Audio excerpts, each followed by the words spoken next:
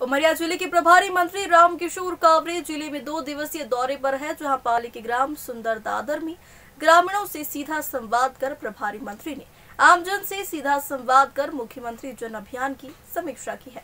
प्रदेश सरकार के आयुष मंत्री, स्वतंत्र प्रभार एवं उमरिया ज़िले के प्रभारी मंत्री रामकिशोर कावरे ने ग्राम सुंदर दादर में खुले मंच से सीधा संवाद कर योजनाओं की जानकारी लेने के साथ ही योजनाओं की क्रियान्वयन की जानकारी ली है।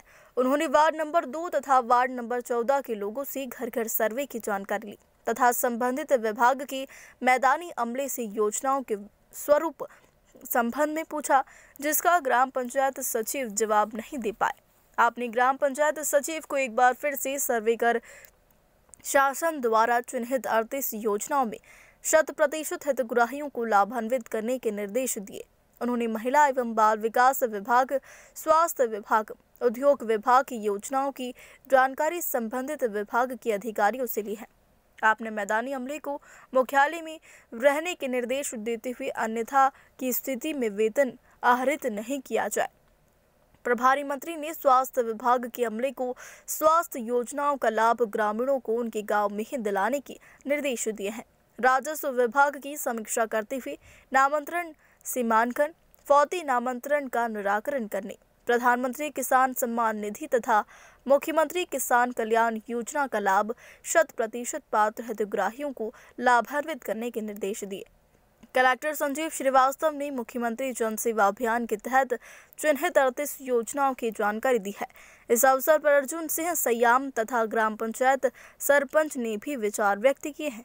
इस अवसर पर पुलिस अधीक्षक Pramod Sinha, SDM Neha Soni, CEO Kunwar Kanhai, CEO जिला पंचायत इला तिवारी, एसडीएम नेहा सोनी, जिला पंचायत सदस्य बेला अर्जुन सिंह नगर पालिका परिषद पाली की अध्यक्ष शकुंतला प्रधान दिलीप पांडे उपस्थित रहे। अधिकारियों की जो क्लास है वो अगली जामा कब तक पहना किया जाएगा? हर विभागों का आपने समीक्षा देखिए मैं मध्य प्रदेश के मुख्यमंत्री जी के निर्देश पे पूरा मध्य प्रदेश सत्रह तारीख से देश के प्रधानमंत्री जी के जन्मदिन से सेवा के पखवाड़े के कार्यक्रम को हमने आयोजित किया था। उसी कार्यक्रम को एक कदम आगे बढ़ाते हुए मध्य प्रदेश के मुख्यमंत्री जी ने मुख्यमंत्री जनसेवा अभियान के रूप में सत्रह तारीख से इकतीस अक्टूबर तक इस अभियान को प्रारंभ किया है। सभी अधिकारियों को निर्देश है कि टोली बनाकर घर घर जाके सर्वे करके उस हितग्राही को लाभ मिलना चाहिए। हमारे पास में अड़तीस प्रकार की इस योजना को हमने चिन्हित किया है।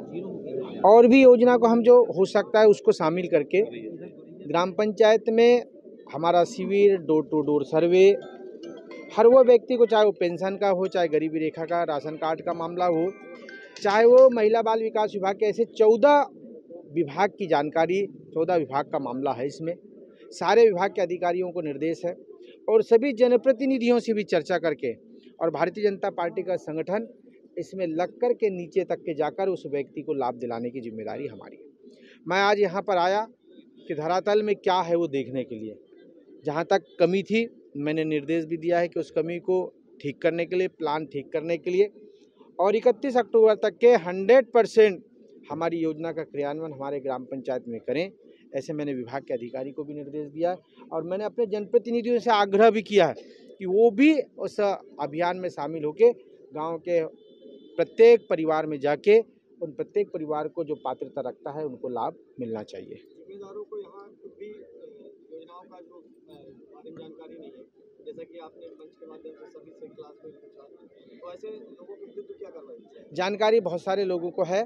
कुछ तो घबराहट में मंच के सामने कभी बोलते नहीं, ना जैसे आपको मंच में भाषण देने के लिए खड़े करवा देंगे तो आप हड़बड़ा जाओगे। तो वैसे ही वो थोड़े से रुक के बताए, लेकिन कुछ लोगों ने बताया। अगर पहली गलतियाँ हैं, कुछ सुधार करने के हमने निर्देश दिए भविष्य में अगर किसी प्रकार से गलती करेंगे तो उन पर नियम नियम के तहत उन पर जो वैधानिक कार्रवाई हो सकती है वो कार्रवाई हम करेंगे। धन्यवाद।